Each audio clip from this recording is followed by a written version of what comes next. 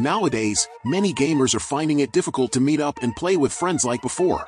Whether playing with family or inviting friends, the games I'll show you in this video of the best co-op games for 4 players on the Nintendo Switch offer a quality cooperative and competitive experience for up to 4 players to play together, hacking through hordes of demons and gradually progressing with new skills and gear, read, grinding, in Diablo 3 is one of the best multiplayer games, and it's even better with a friend.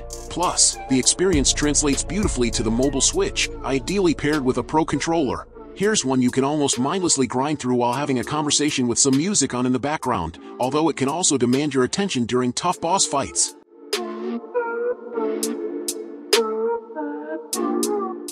While its competitive scene can be a serious matter, Super Smash Bros. Ultimate is a great party game for all kinds of plates, supporting matches of not only 4 but even 8 players at the same time. To maximize the chaos, keep the items on. You can also play the story mode in multiplayer, even if you're not a fan of Mario or Nintendo characters in general. The immense roster of characters in Ultimate is sure to hold someone's favorite, and if still there's no character you like, you can always make yourself with the Mii Fighters.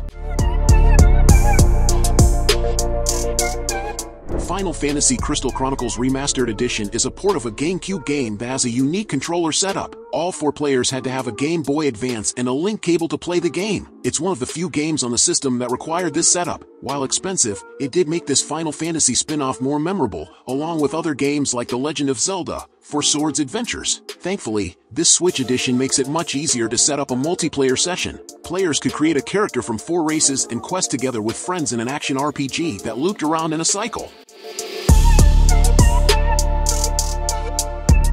Sonic has always done better in 2D, and while he has plenty of high-quality 3D adventures, Sonic Superstar shows that the glove fits better when pixelated, and this time it has a large focus on multiplayer, with four distinct characters that can help each other to win. The game already has plenty to offer, with its unique new elements and creative boss fights, but it also has something for the more competitive-minded. While racing friends in Sonic games is nothing new, this time you can create your own mech and battle it out, shooting lasers and all.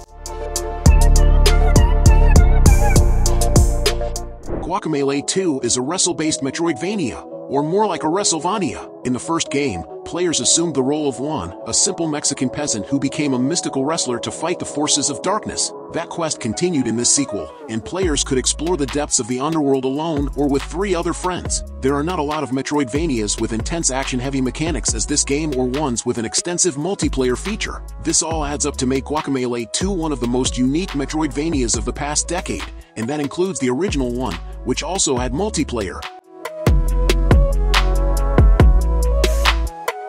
While all games on this list are excellent for parties, Super Mario Party is the ideal one, and not only for having the word in the name. It's designed so anyone can pick up and play it, no matter if it's the first or hundredth time they play it. Much like games before it, the classic mode sees players compete with each other for stars, until one comes on top. This new edition brings a raft mode, a more challenging and friendlier version of the game. In it, players cooperate with each other to get to the goal, being all of them winners at the end.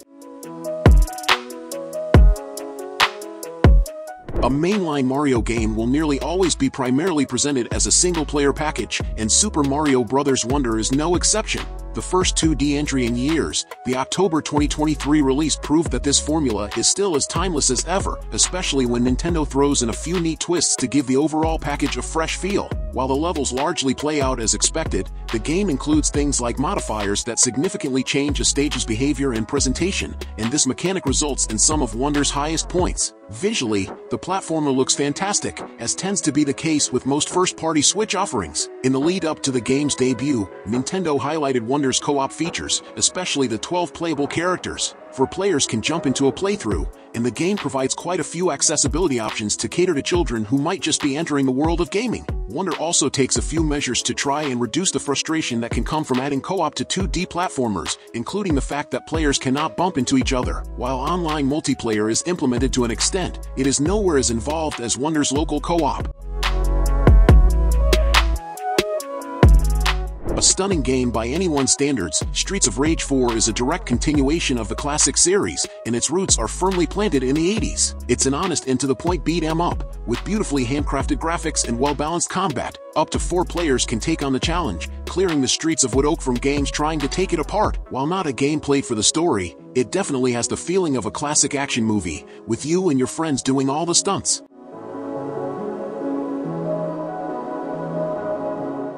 Marvel Ultimate Alliance 3, The Black Order was a sequel that was a long time coming, and it was a surprise to see the series get revived on Switch exclusively. Like the rest of the series, players could take control of a cavalcade of Marvel heroes, from popular ones like Spider-Man to more obscure ones like Elsa Bloodstone. The game was set up a lot like a looter RPG akin to Diablo 3 but with a more streamlined series of RPG mechanics. It's the ultimate Marvel fan's dream, which is in the title, and it is best experienced with three other friends. It may not be Marvel Spider-Man 2, but it still packs a mighty wallop on Switch.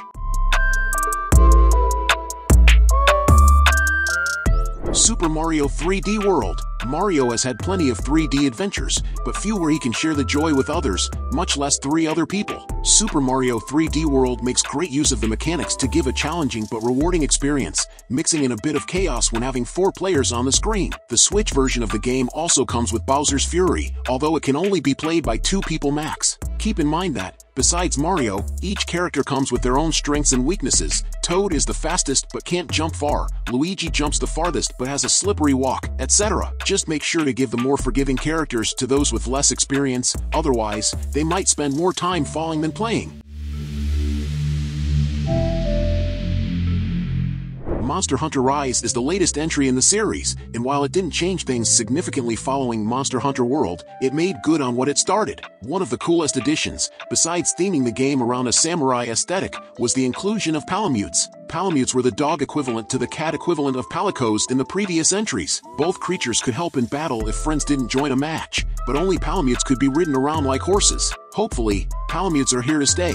But if they aren't, then that just makes Monster Hunter Rise all the more special as a multiplayer game on Switch. Mario Kart 8 Deluxe. Kart racing games are always great additions to parties, since they're easy to pick up and fun to explore. They all work roughly the same, with a colorful cast of characters and all kinds of weapons to fling to your opponents. There are a few quality choices to pick from, but on the Switch the clear winner is Mario Kart 8 Deluxe, a title that brings all content present in the original game, DLC included, and adds even more on top of that, with new courses and character additions ranging from King Boo to the Splatoon Inklings. Rayman Legends had an interesting relationship with Nintendo because it began as a Wii U exclusive. It then got other console versions, so Nintendo fans had to wait it out, and they also lost features in the process. While the game did have some initial setbacks, Rayman Legends became an instant classic between fans and reviewers. The art style was brilliant, the four-player platforming worked better than ever before, and the music-based levels were something to behold. Maybe one day Rayman can return to consoles, but for now, this game is more than enough. Don't let its seemingly simple premise put you off, since Nintendo Switch Sports can ignite fierce competition among all who play it. The sports are really well implemented, and the interaction with the Joy-Cons makes it simulate the activities well enough, without having to leave the comfort of home. Keep in mind that you won't be able to play any sports when going as four players, only bowling, tennis, and volleyball are available for so many people. Still, they're the best the game has to offer, particularly volleyball and the constant shift in roles.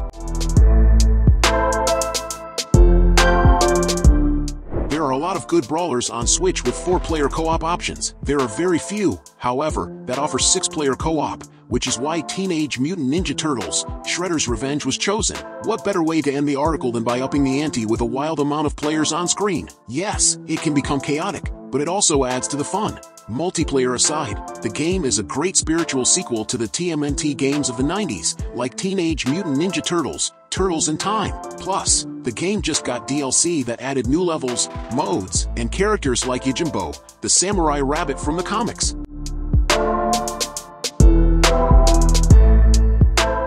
Nintendo Switch owners have a few Trine games at their fingertips, and an argument could be made that Trine 2 and 4 are the picks of the bunch. However, Trine 5 is a very solid addition to the franchise and also the most recent project. Three adventurers who conveniently fit into fantasy archetypes find themselves having to go on another quest, this time to stop a power-hungry villain called Lady Sunny. As far as stories go, Trine 5 does not try to be anything more than just passable, but it succeeds in reaching that standard. The game is entirely about its puzzles, and they are consistently engaging and creative. Solo runners have the option to swap between any of the characters at once, allowing them to use their unique skills to carefully work their way through each puzzling scenario. Meanwhile, co-op players can also pick any of the characters, so they won't be forced to commit to one class. As such, there could be four clones on the screen at any given time.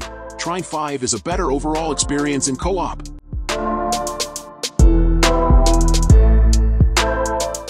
So, did you like the games I recommended? So leave your like, subscribe to the channel to follow me and activate the bell because I post a lot of videos on this channel and you can't miss it. I would like to remind you that in the description we have a list of different products that can make your gaming experience much better. If you want to buy, the link will be in the description.